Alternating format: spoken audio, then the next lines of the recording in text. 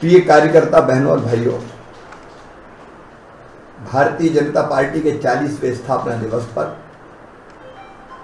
आप सबको बधाई, आप सबको शुभकामनाएँ।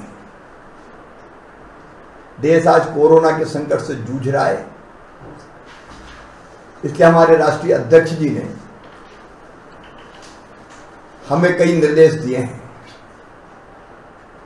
उन निर्देशों का हमें अक्षर सा पालन करना है।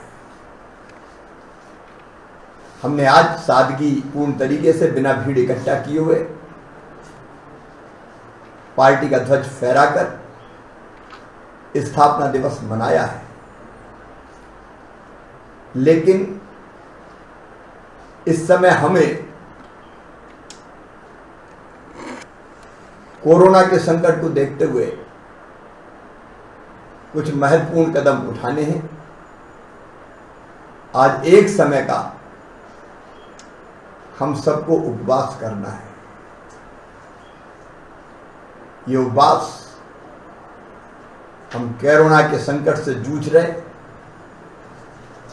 योद्धाओं के लिए करेंगे। लेकिन इसके साथ ही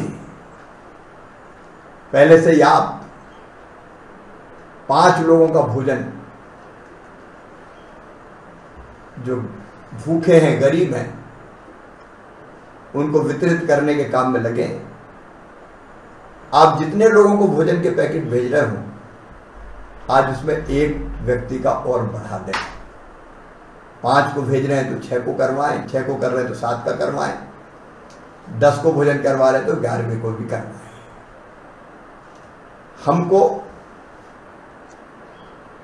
इस सप, अगले सप्ताह एक सप्ताह में।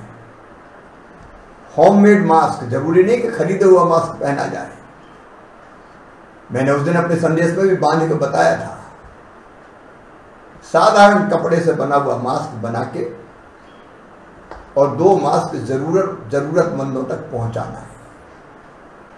छह से आठ अप्रैल तक हमारे सभी प्रमुख कार्यकर्ता बूथ पर रहने वाले पार्टी के राष्ट्रीय पदाधिकारी, प्रदेश पदाधिकारी, जिला पदाधिकारी, विधायक, सांसद 40 लोगों से संपर्क करके पाँच प्रस्ताव पास करवाएँगे। और ये पाँच प्रस्ताव उनके लिए है, उनको धन्यवाद देने के लिए है, जो कोरोना से जंग लड़ रहे हैं। पहला पहला प्रस्ताव हमारे पुलिस के साथियों के लिए। दिन और रात लॉकडाउन को सफल बनाने में सोशल डिस्टेंसिंग बनाए रखने में अपने आप को जोखिम में डाल के काम कर रहे हैं। उनको जो प्रस्ताव पारित कर, पारित करें जो संबंधित थाना है धन्यवाद प्रस्ताव पारित करके संबंधित थाने में उसको दे दें। दूसरा धन्यवाद प्रस्ताव डॉक्टर्स नर्स पैरामेडिकल स्टाफ के हमारे वो भाई और बहन जो अपने घर और परिवार की चिंता छोड़ के दूसरों की ज़िंदगी बचाने में लगे हैं।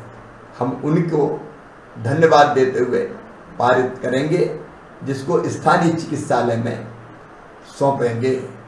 तीसरा प्रस्ताव सफ़ाई कर्मियों के लिए होगा। नगर निगम, नगर पालिका पंचायतों में, नगर पंचायतों में दिन रात सफ़ाई के काम में लग के जो व्यवस्था बना रहे हम उनको भी धन्यवाद देंगे।